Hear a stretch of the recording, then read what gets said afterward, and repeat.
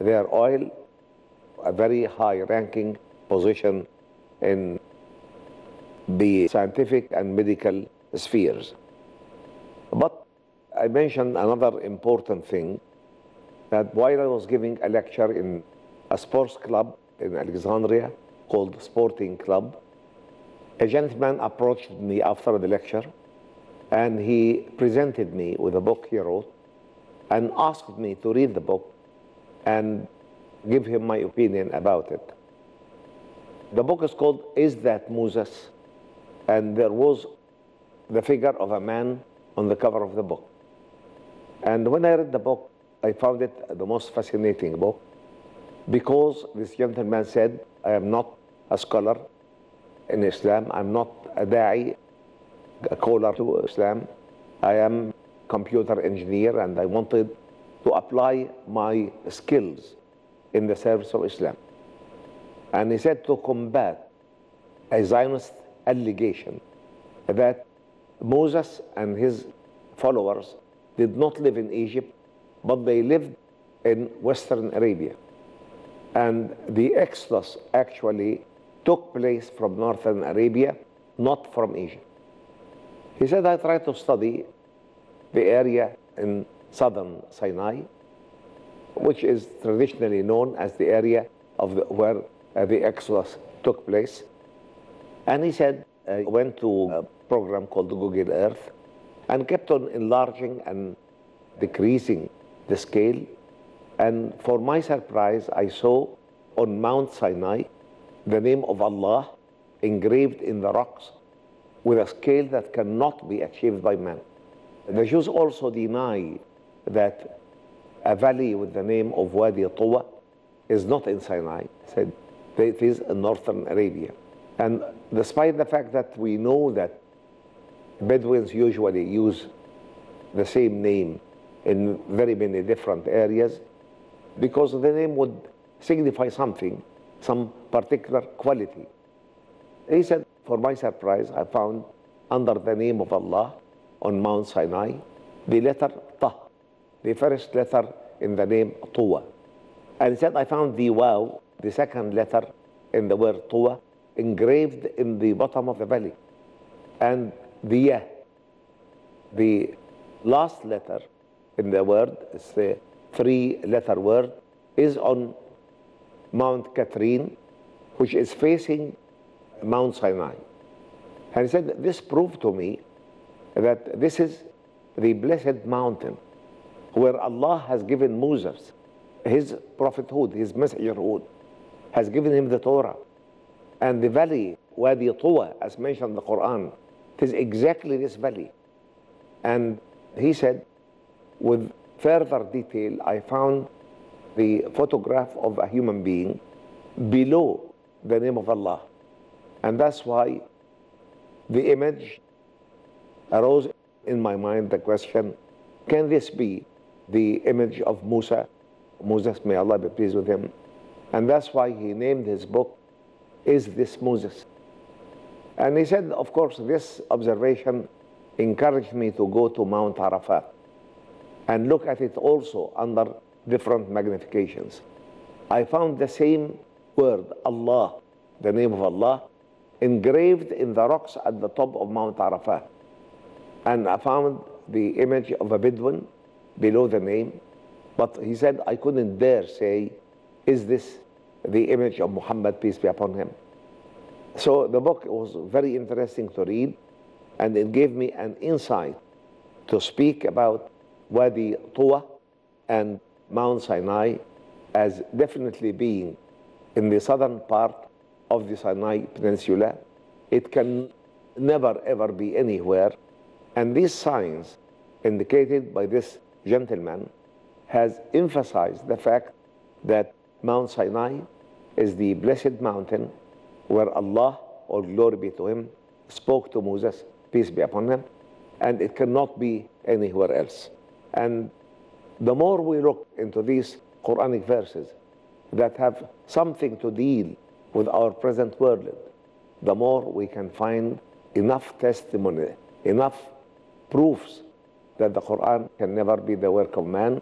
It is the divine word in its divine purity.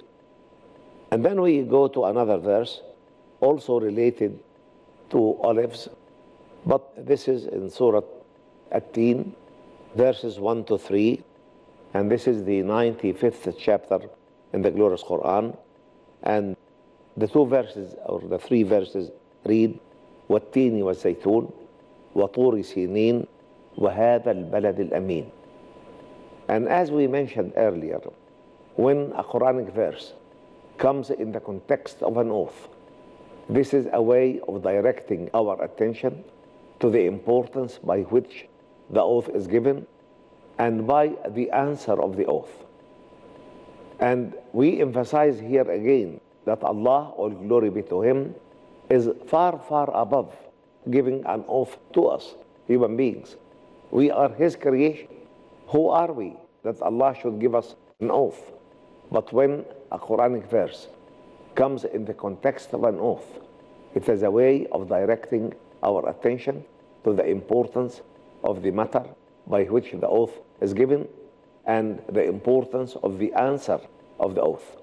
We read والتين والزيتون by the fig and the olive وطور سنين and by the mount of Sinai وهذا البلد الأمين and by this city of security meaning Mecca المكرمة and one would wonder really why should Allah give an oath by the fig and the olive only very recently the dean of the faculty of agriculture in Al-Azhar University had a scientific leave from his position and he spent that leave in Japan.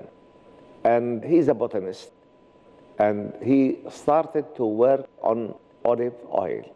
And in a personal discussion with the chairman of the department where he was spending his leave, the issue of the olive oil came into being. Then this gentleman told him, the olive is mentioned in the glorious Quran six times. And they start working on the chemical composition of the olive oil and distinguished many of the beneficial components in it. And they started to study the fig. And they found in the fig a certain enzyme which they called ficin from fig. And notice that this enzyme is badly needed by the human body and it can only be found in the fig. And this discussion made the Japanese colleague to ask the Muslim professor, can we combine the fig with the olive oil and test whether it has got any value in dealing with the human body. They mixed six quantities of olive oil with one quantity of fig, and this is the ratio of their mentioning in the Quran. They couldn't get any exciting results. So the Japanese colleague asked the Egyptian professor, can there be any notion to the olive oil in the Quran? And he said, let me look, and he found the verse we discussed before وشجرة تخرج من طور سيناء تنبت بالدهن وصبغ للآكلين and he said it's seven so they tried mixing seven volumes of olive oil with one volume of fig and they reached surprising results which we'll cover inshallah after a short break. And until we meet, I thank you for listening and greet you in our Islamic way. Assalamu alaikum wa rahmatullahi wa barakatuh.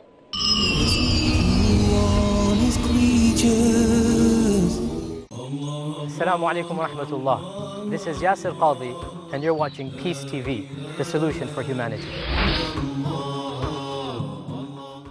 The voice of truth. That Allah does not look your face, but rather Allah looks at your heart and looks at your action. We Muslims know life is a test. And so, in order for us to have peace, there must be standards, there must be proof.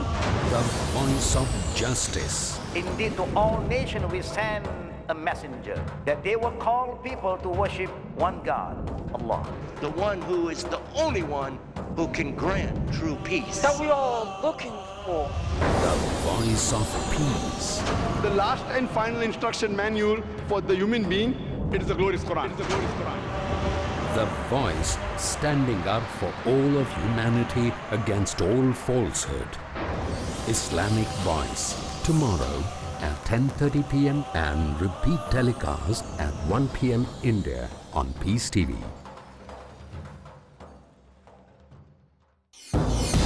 Most countries of the world ban bullying. They fight it in their schools and universities. A lot of us are being bullied differently every single day. Some come up to us and say, do this, while others say, don't you dare. Some say this is halal, halal, while others say, nope, this is haram. Are you confused?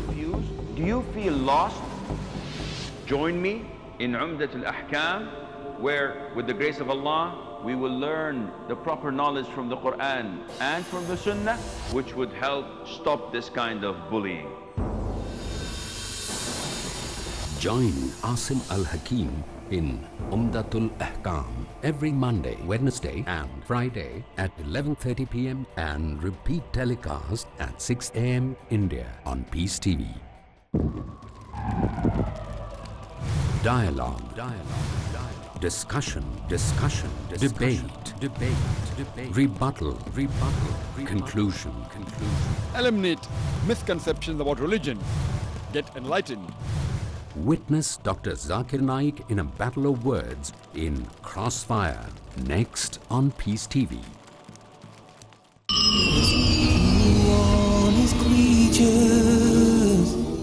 Coming back from this short break, I greet you in our Islamic way.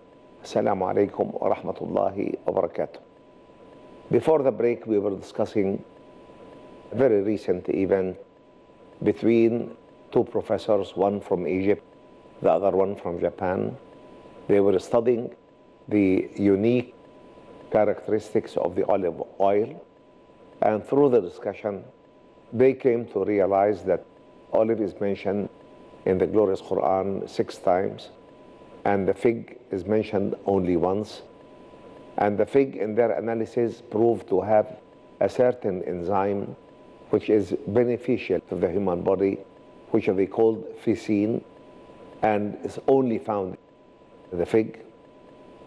So they try to see if they can mix six volumes of olive oil with one volume of fig and see if there are any beneficial medical value for this mixing. They could not find anything more than treating with or using each component separately. So the Japanese professor asked the Muslim professor, is there any other notion to the olives in the Quran other than the six explicit ones? And the Muslim professor remembered the verse which we discussed before this one, which reads, وَشَجَرَةً تَخْرُجُ مِنْ طُورِ سَيْنَاء تَنْبُتُ بِالدُّهْنِ وَصِبْغٍ لِلْآكِلِينَ And it doesn't have the name of the olive, olive tree, explicitly, but it's an indirect way of indicating the olive and the olive tree. So they try to mix seven volumes of the olive oil with one volume of the fig, and they reached wonderful results in treating large number of ailments by this mixture. And this here points to the beauty of recording anything in the Quran in definite number. And then the oath by the fig and the olive is really a way of directing our attention to the importance of using that mixture. وطور سنين. This is again another emphasis on the fact that the blessed mount from which Allah, all glory be to him, addressed Moses, peace be upon him, and gave him the Torah, is the Mount Sinai in the southern part of the Sinai Peninsula and is not anywhere else. The third verse reads, وَهَذَا الْبَلَدِ الْأَمِينَ meaning Mecca. And we have mentioned before that modern earth sciences has proved that all the land masses we live on today actually started from an oceanic island, a volcanic island that was in the middle of an inundating ocean. And this volcanic island grew into one major continent, which is known as the mother continent or the mother of all continents. And then this mother continent was split by a system of faulting to the seven continents of today. And the continents started to drift away from each other until they reached their current positions. And continents are still drifting today, but at a much slower rate than before. And this slow rate can be detected by equipments, but cannot be felt by man. When the distance between Mecca, Al-Mukarramah, and the extremities of the seven known continents, it was found to be exactly equal, 13,600 kilometers. And this indicated that the land of Mecca or Al-Haram al-Makki must have been the initial piece of land that was created on the surface of that planet. That's why Prophet Muhammad, peace be upon him, is quoted to have said, إن هذه البلدة حرمها الله يوم خلق السماوات والأرض لا يعضد شوكها ولا ينفر صيدها ولا تلتقط لقطتها إلا لمن أراد أن يعرف بها. This village or this town was made forbidden by Allah on the day He has created the heavens and the earth. إن هذه البلدة حرمها الله يوم خلق السماوات والأرض لا يعضد شوكها. Even if you find a spiny plant, you cannot take it off from its place. ولا ينفر صيدها. You cannot really harm any animal that's allowed in Islam to be caught in this blessed area. ولا تلتقط لقطتها. If you find a bag of money thrown on the ground, don't touch it unless you are going to ask to whom it belongs. You ask for the owner of it. So really, this is just a small part of the importance of Mecca, or glory be to it. Not only this, but science also has proven that the longitude of Mecca is the only longitude that points through geographic north to Polaris in a horizontal projection of the map of the world. There are many other signs that can testify to the holiness of Mecca. But it's not the time to discuss it now, but I wanted to just answer the question why Allah, all glory be to Him, would give an oath by Mecca. وهذا البلد الأمين. This is the center of the globe.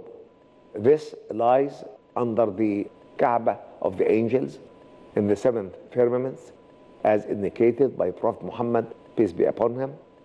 It lies at the axis of the universe, a line starting from the Kaaba of the angels, traversing the seven firmaments, coming to Mecca, the Kaaba of the human beings, traversing the seven earths twice, and traversing the seven firmaments again, and all this is encompassed by the chair of the throne of Allah, all glory be to Him, which is in the domain of the unseen. We cannot say anything about it.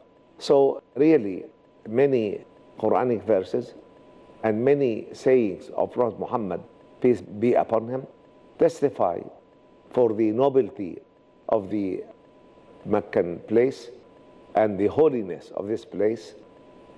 So, this may justify the oath given by Allah, all glory be to Him, by the fig, by the olives, by the Mount Sinai, and by Mecca al Mukarramah, the place or the city of security.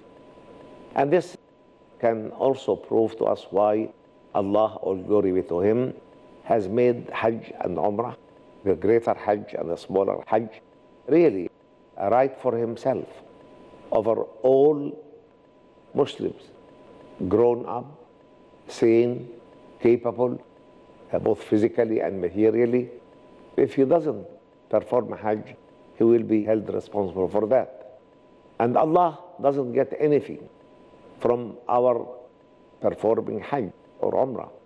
But it is a great mercy from Allah, all glory be to Him, because He wants every man or woman grown up, rational, reasonable, free, capable to do this pilgrimage, the greater or the smaller one, and both, and the greater pilgrimage only once per life, at least, because He, or glory be to Him, wants every one of us to be exposed to the blessings of the place, Mecca al Mukarramah, uh, during the most blessed days of the year, the 10 days of Dhul Hijjah, so that the reward from Allah would be multiplied amply, millions of folds.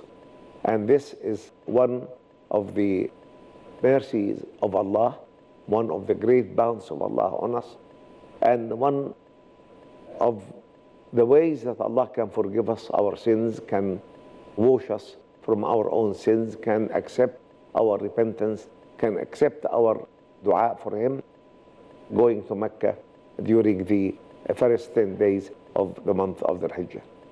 And if prayer in the Haram of Mecca is rewarded 100,000 times in any day of the year, and here we can see the reason behind giving this divine oath in three verses at the beginning of Surah At-Teen.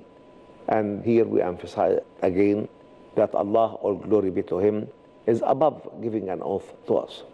And until we meet in the coming episode, I thank you for listening and greet you in our Islamic way. Assalamu alaikum wa rahmatullahi wa barakatuh. May Allah's peace, mercy, and blessings be with you all.